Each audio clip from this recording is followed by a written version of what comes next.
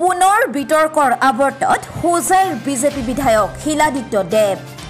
বৃহস্পতিবাৰে যোৰাপুখুৰীস্থিত নিজ গৃহত অনুষ্ঠিত এক সংবাদমেলত হোজাই জিলা পৰিষদত কংগ্ৰেছ সদস্যক উপসভাপতিৰ পদ দিয়াৰ ক্ষেত্ৰত মুখ খোলে বিধায়কজনে।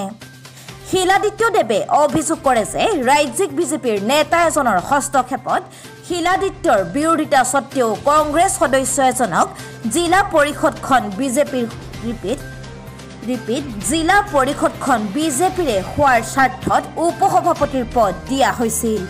কিন্তু এবছৰ পাৰ হৈ যোৱাৰ পিছতো কংগ্ৰেছ সদস্যজনে পূৰ্ব প্ৰতিশ্ৰুতি অনুসৰি বিজেপি দলত যোগদান নকৰাৰ বাবে চৈধ্য জুলাইত পৰিষদৰ সভাত অনাস্থা তুলি সদস্যজনক উপসভাপতিৰ পৰা আঁতৰোৱা হ'ব বুলি শিলাদিত্যদেৱে সংবাদমেলখনতে দাবী কৰে।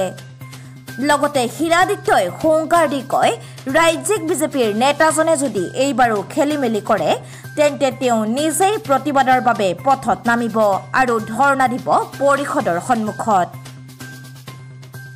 হোজাইৰ পৰা জাকিৰ হুছেইনৰ ৰিপৰ্ট নিউজ নাইন অসম। আপুনি দাবী কৰিছে উপ সভাপতিগৰাকী এইবাৰ বিজেপিৰে হ'ব। বিজেপিৰ সদস্য বিজেপিৰ জিলা পৰিষদৰ সদস্য আমাৰ এতিয়া ছয়জন আছে। টোটেল বাৰজন মেম্বাৰ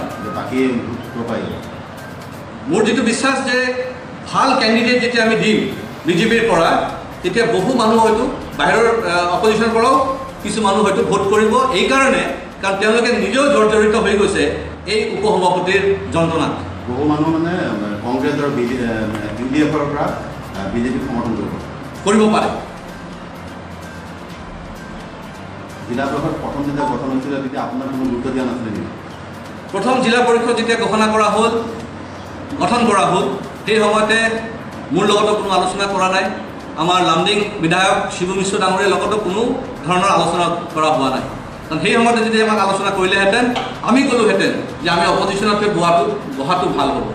কাৰণ আমাক যেতিয়া ৰাইজে মেণ্ডেট দিয়া নাই আমাক ৰাইজে যেতিয়া ভোট দিয়া নাই জিলা পৰিষদৰ ক্ষেত্ৰত তেতিয়া আমি কিয় জোৰ জবস্তি কৰি আমি তাতে বহিম? কিন্তু আজিৰ পৰিৱেশটো অলপ বেলেগ হৈছে কাৰণ কংগ্ৰেছৰ ভিতৰতো এটা ডিভিশ্যন আছে। তেওঁলোকেও বিচাৰিছে যে ৰাইজৰ কামৰ কাৰণে তেওঁলোকে আগবাঢ়ি আহিছে যে এজন ভাল মানুহ এজন অনেষ্ট মানুহ যদি জিলা পৰিষদৰ উপসভাপতি যদি বনোৱা হয় তেতিয়াহ'লে তেওঁলোকে তেওঁলোকৰ ৰাইজৰ কামখিনি ভালকৈ কৰিব পাৰিব বুলি। জিলা পৰিষদখন যে গঠন হৈছে আগতে যিখন হৈ গ'ল আপোনাক আন্ধাৰত ৰাখি মানে বেলেগে জিলা পৰিষদখন গঠন কৰা নাই নেকি?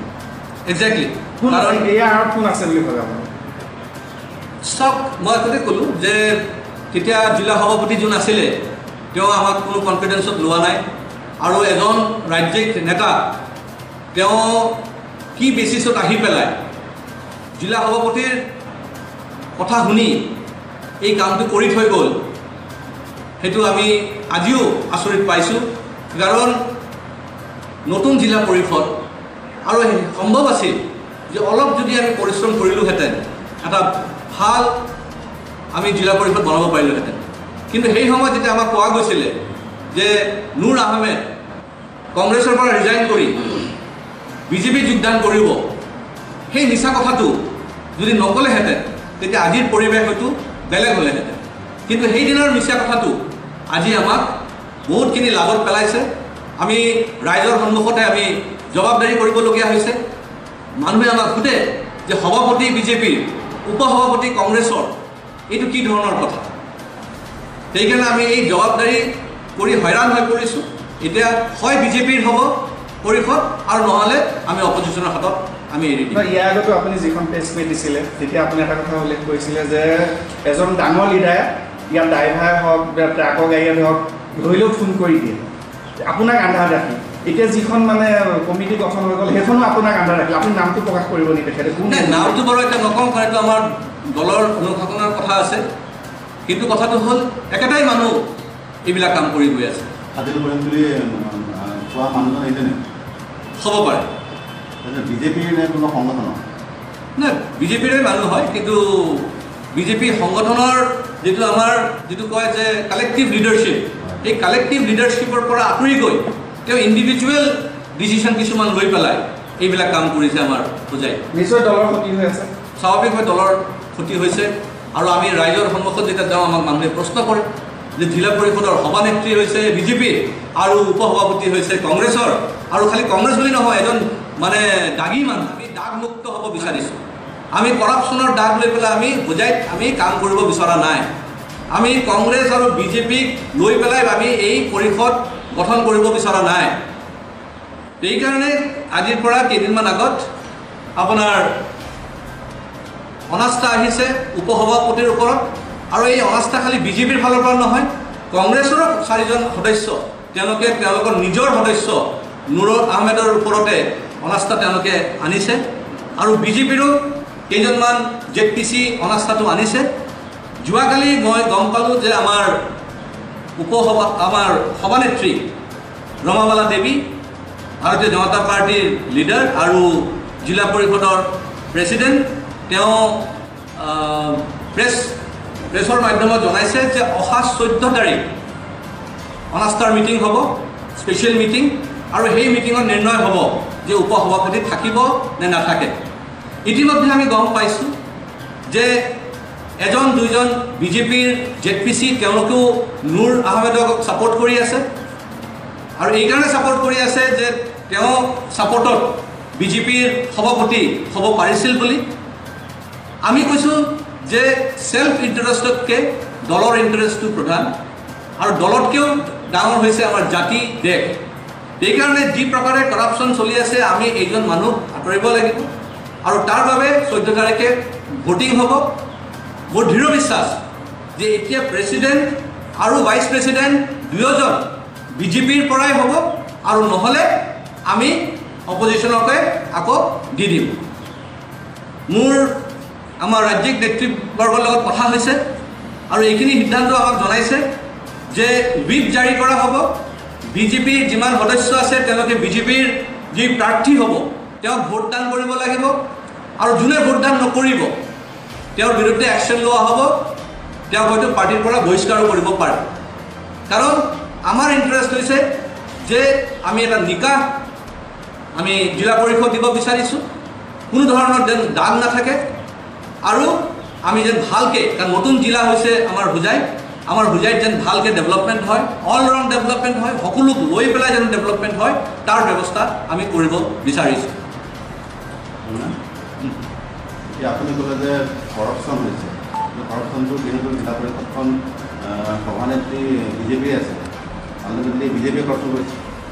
নেচাৰেলি কাৰণ যেতিয়া এতিয়া বিজেপিৰ প্ৰেছিডেণ্ট আছে আৰু ভাইচ প্ৰেছিডেণ্ট কংগ্ৰেছৰ আছে আৰু যিখিনি আমি এতিয়া গম পাইছোঁ যে এণ্টায়াৰ শ্ব' কংগ্ৰেছে চলাই আছে উপসভাপতি তেওঁৰ কণ্ট্ৰলত চলি আছে এণ্টায়াৰ জিলা পৰিষদ তেওঁৰ কণ্ট্ৰলত চলি আছে নামত খালি এতিয়া আমি প্ৰেছিডেণ্ট হিচাপে আছোঁ কিন্তু কৰ্মত গোটেই কংগ্ৰেছ চলাই আছে।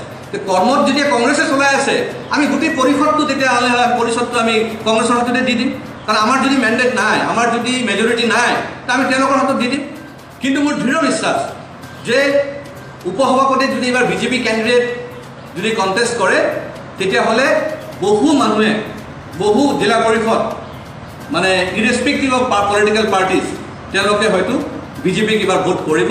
এইটো বিশ্বাসত যে এটা নিকাহ আমি পৰিষদ পৰিষদ দিব পাৰিম আৰু এই জিলাৰ উন্নয়ন ভাল হ'ব বুলি। আপুনি দাবী কৰিছে উপসভাপতিগৰাকী এইবাৰ বিজেপিৰে হ'ব বিজেপিৰ সদস্য জিলা পৰিষদৰ বিজেপিৰ জিলা পৰিষদৰ সদস্য আমাৰ এতিয়া ছয়জন আছে। বাৰজন টোটেল মেম্বাৰ টোটেল বাৰজন মেম্বাৰ বাকী মোৰ যিটো বিশ্বাস যে পুনৰ যদি সেই ৰাজ্যিক আপুনি কোৱা হাজিল কৰিম বুলি কোৱা সেই বিশেষ ৰাজ্যিক নেতাজনে আকৌ উল্টা পুল্টা কৰি দিয়ে তেতিয়া কি কৰিব এইবাৰ যদি উল্টা পুল্টা কৰে তেতিয়াহ'লে মই ৰাজপথত ওলাই আহিম কাৰণ কাৰণ আমি এতিয়া ৰাইজৰ ওচৰত যাওঁ জবাবদাৰী আমাৰ কৰিব লাগে সেইবিলাক মানুহ তেতিয়া ৰাইজৰ ওচৰত যাব নালাগে সেইকাৰণে যদি এইবাৰ জোৰ জবস্তি কিবা খেলি মেলি কৰিব বিচাৰে আমি এতিয়া ৰাজপথত নামিম আমি ধৰ্ণা দিম জিলা পৰিষদৰ সন্মুখত ইমান সমাধান এইটো সময় এতিয়া আমি গম পাম। আচ্ছা এতিয়া জিলা পৰিষদৰ যি স্থিতি বৰ্তমান যি অৱস্থা ইয়াক দেখি ধৰক বিজেপিৰ ভিতৰ চৰাত কিবা মানে নিজৰ ভিতৰতে কিবা কণ্ডল লাগিছে নেকি? ধৰক এনেকুৱা ধৰণৰ পৰিস্থিতি দেখা গৈছে। এই জিলা পৰিষদৰ ভিতৰত। ধৰক জিলা পৰিষদক লৈ আপোনালোকৰ দলৰ ভিতৰত। হৈছে কি জিলা পৰিষদৰ ভিতৰতে মানে প্ৰথম যেতিয়া আমি জিকিছিলোঁ আমি মাত্ৰ পাঁচ পাঁচটা জেড পি চি জিকিছিলোঁ। আউট অফ টুৱেল্ভ পাঁচটা জেড পি চি আমি জিকিছিলোঁ। পিছতে এজন আৰু জইন কৰিলে কাকি কাকিৰ পৰা। তাৰ আমাৰ ফিগাৰটো হৈ গ'ল ছয়। ছয় ছয়জন হৈ গ'ল।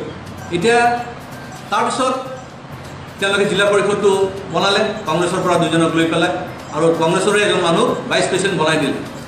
আজি অধিকাংশ জিলা পৰিষদ সদস্য তেওঁলোকে বিচাৰিছে যে এই জিলা পৰিষদটো ভাল হোৱা নাই উপ সভাপতিক বদলাব লাগে। বিজেপিৰ যদি সম্ভৱ হয় বিজেপিৰ বনাব লাগে আৰু নহ'লে অপজিশ্যনৰ হাততে এৰি দিব লাগে। কিন্তু বিজেপিৰ এজন দুজন মানুহ নিজৰ স্বাৰ্থৰ কাৰণে নিজৰ বডিৰ লগত তেওঁ মূৰক গুচাব বিচৰা নাই। কাৰণ ভাবিছে যে মূৰক গুচাই দিলে তেওঁলোকৰ হয়তো পাৱাৰ কমি যাব। সেইকাৰণে হয়তো তেওঁলোকে এৰি দিব বিচৰা নাই। এইটো তেওঁলোকৰ ব্যক্তিগত স্বাৰ্থ। কিন্তু দলীয় স্বাৰ্থ যদি চায় তেতিয়াহ'লে ক্ষতি হৈছে। ৰাজহুৱাভাৱে যদি চায় তো ৰাইজৰ কাৰণে ক্ষতি হৈছে কাৰণ ৰেম্পেণ্ট কৰাপশ্যন চলি আছে। সেইটো আমি বন্ধ কৰি ৰোধ কৰিব লাগিব। একেই পৰিস্থিতি এই হোজাই পৌৰসভাতো হৈছিল এই এক- অনুৰূপ ঘটনা।